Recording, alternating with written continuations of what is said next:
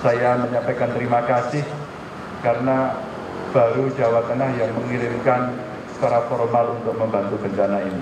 Ini wujud dari kepedulian kita, ini wujud dari keseriusan kita, ini wujud dari bagaimana tangguh bencana itu kita laksanakan dan betul-betul operasi kemanusiaan itu kita lakukan dan itu tidak lagi mengenal ini Jabar, ini DKI, ini Banten, ini Jateng tidak. Ini anak bangsa warga negara Indonesia yang lagi kita.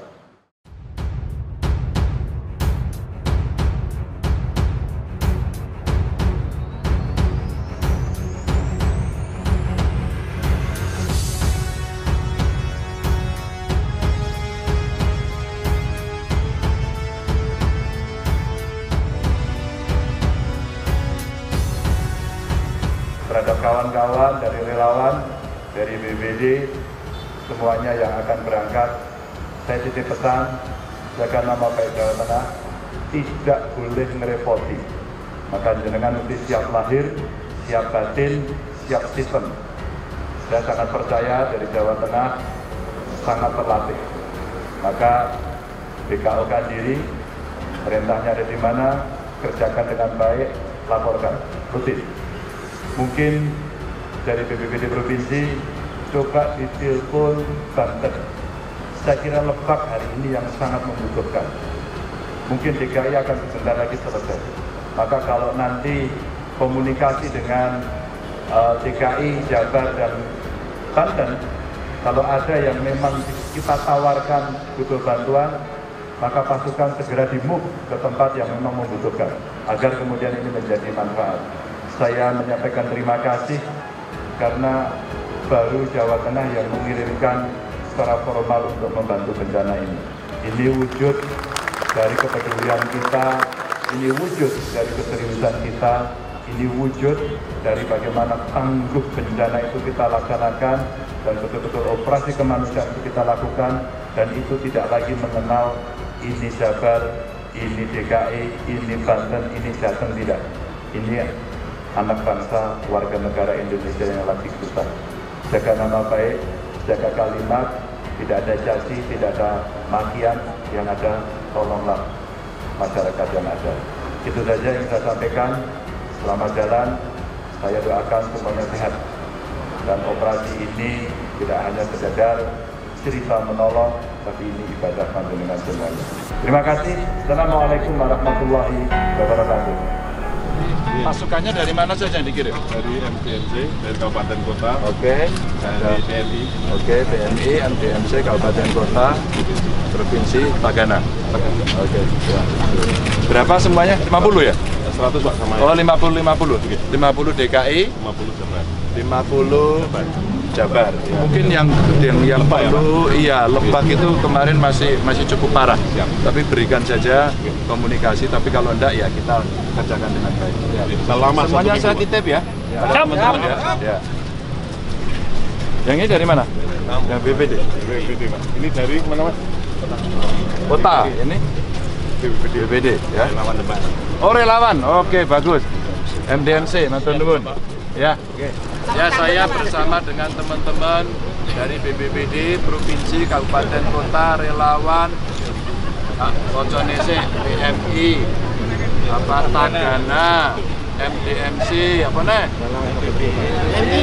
PMI, wes, Kabupaten Kota, LHPB, PBNU, Aisyah, semuanya kita akan berangkat sebagai kekuatan personil untuk membantu bencana atau penanggulangan bencana setidaknya membersihkan lokasi-lokasi banjir dan menolong korban yang mudah-mudahan manfaat dan inilah uh, rasa cinta dari Jawa Tengah yang diberikan kepada saudara kita di seluruh Indonesia yang hari ini bencana itu sedang menimpa DKI, ada di Banten, dan ada di Jawa Barat.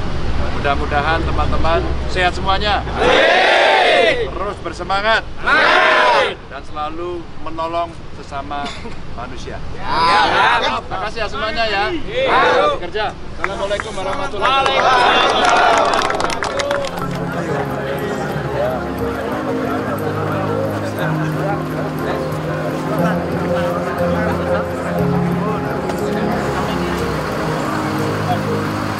Sesama. Karena kan memang tahun lalu juga saya ke Lombok ke Palu dan tahun ini juga saya alhamdulillah dapat kesempatan jadi relawan uh, atas nama MDMC bergabung dengan BPBD daerah uh, provinsi maksud saya untuk ke Jakarta.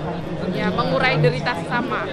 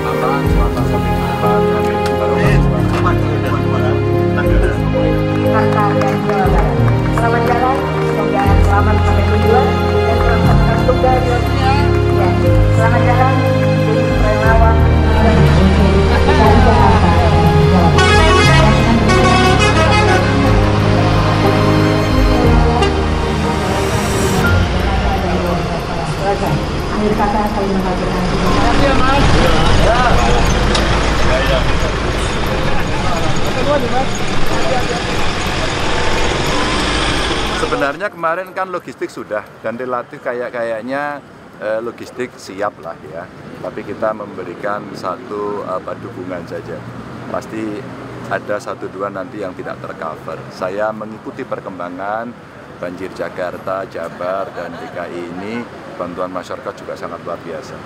Saya kira tiga gubernur juga kemarin saya ikuti melalui media sangat aktif membantu, sangat aktif menolong, mengajak resik-resik dan sebagainya itu merecover kondisinya.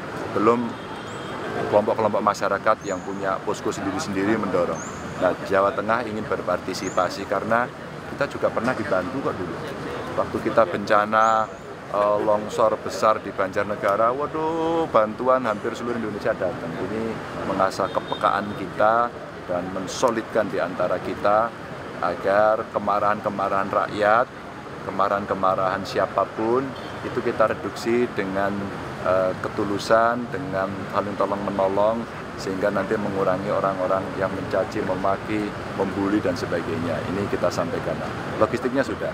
Nah hari ini coba kita eh, bantu lagi dengan personil. Harapan saya personil ini sekecil yang dimiliki dari kekuatan ini akan bisa membantu menyelesaikan. Mereka orang-orang yang terlatih dan yang kita berangkat ini bukan hanya dari BPBD provinsi ya, tapi dari kabupaten, dari Tagana, dari PMI, dari kelompok masyarakat, dari Muhammadiyah, dari NU, terus kemudian dari relawan-relawan yang lain. Ya, mudah-mudahan membantu.